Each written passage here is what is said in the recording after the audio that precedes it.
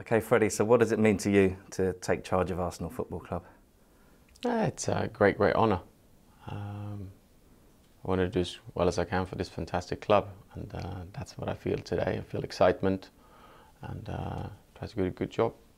Of course, you've been working with the first team players all season anyway, um, and you had a meeting with them yesterday. What was your main message to them? No, I think what I say in the dressing room always stays there, but in general terms, I uh, I think we have some some great players. Of course, we've had uh, some problems. Obviously, we haven't had some, some results, and uh, that's what we're going to try to, to address. Uh, but uh, how we address that, I'm probably going to keep that to myself. And you've been on the bench, of course, this season. We've seen your passion at times, especially I'm thinking of uh, Sheffield United earlier this season. So, can we expect to see a, an animated presence on the bench? Yeah, of course. I think uh, I get uh, involved in the game. That's who I am. But at the same time, I try to then step back and analyze the games and stuff. So it depends a little bit. It's, uh, it can be a calm man and it can be not so calm man. So it depends. And what about your team around you? Who would be your assistants? So that's something I will uh, work on a little bit, and uh, we'll let you know when uh, we feel we're ready.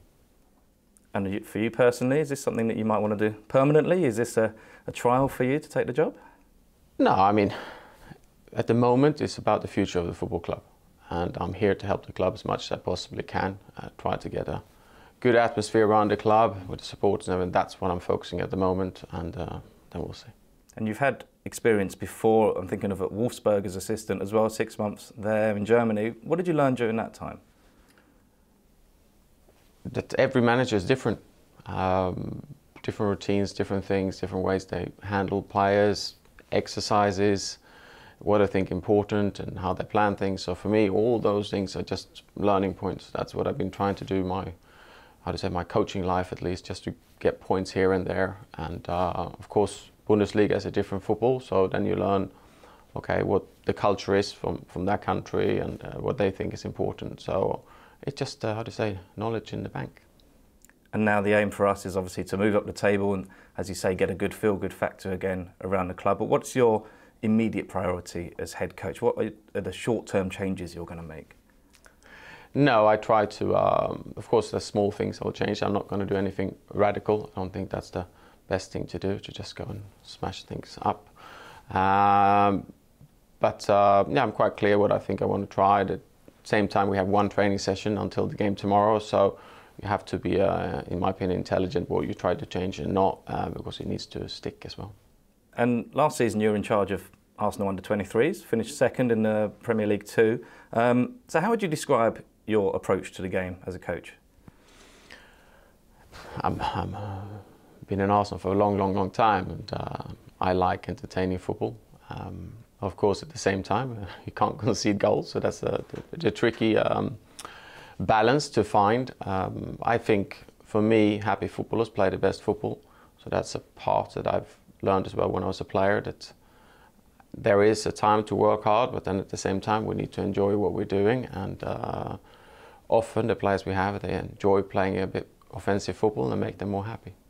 Yeah, because your team scored 48 goals in 22 league games last season, so obviously like attacking football. Do you think you're going to be a similar style of coach as you were to a player? We remember you as, a, as an attacking player. It will, will say, but I think if we looked in 2019, I remember some stats as well. I think we kept a clean sheet out of five games out of nine. So we tried to defend as well, but uh, there's different ways of doing it. So you arrived as a player more than 20 years ago. You know the club, you know Arsenal so well. How important do you think that experience is going to be for you now? It's a game tomorrow, but I think I, I hope I have the values of the club. I understand uh, the club. I, I hope, I think from the inside. So I think that gives me a, a help, 100%. Um, I, I, feel I have Arsenal uh, been here for 20 years, so it's, it's, very special to me. That's why I'm saying it's an honour to do this. And when the club asked me to help them, like of course I said that's a given. I'll try to help the club as much as they uh, they need, and then we'll see from there. And as you said, not much time to think about this first game. It's tomorrow away at Norwich. What's your message to the Arsenal fans? They're amazing fans. They are, and we, we need them. The players need them, um, and that's the main thing that, that I can tell to them. Uh, we as players and, and, staff and coaching staff will do everything we can to make them happy, uh, but just uh, enjoy the game. And finally, you've always had a, a great connection with those fans that you talk about, always been a fan's favourite. How confident are you that you can get that feel good factor and that positive feeling back around the club?